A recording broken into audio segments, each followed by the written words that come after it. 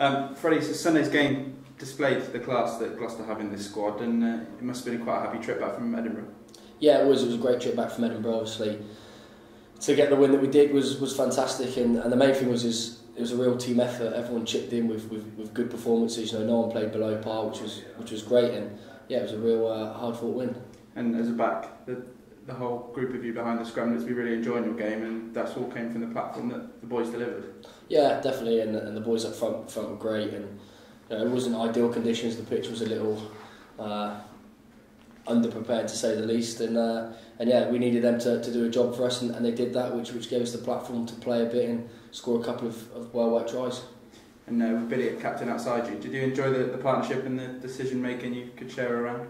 Yeah, you know, I really enjoyed playing with Bill. He's, he's, a, he's a great captain, and him and Sav are, are both good leaders in, in different ways. So, um, unfortunately for Sav, obviously he's out injured, but, but Billy's stepping up. You don't really lose too much in the leadership role of things, and yeah, I, I enjoy playing with Billy week in, week out anyway.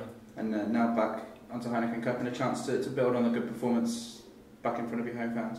Yeah, um, you know, back at home, obviously we, we've, we felt we put in a good performance against Leicester a couple of Fridays ago, but obviously we, we come up uh, a little bit short and we've got a chance to to really push on and, and take control of the group and you know, if we do lose it at the weekend then all the hard work we put in last Sunday is, is, gone so it's a, a massive opportunity for us to, to sort of get our hands in and take control of the group a little bit and, and put destiny in our own hands.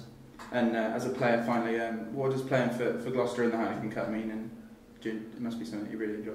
Yeah, I mean I'm hoping for, for a big crowd on Sunday as well which I'm sure there will be and a club like Gloucester you, you immediately associate with being one of the greatest clubs in in English uh, rugby history. So to have them, well, to have us in the uh, in the Heineken is, is, is great, and we've got to make sure that we put out the performances worthy of, of representing the club well and, and doing well in the Heineken. Fantastic.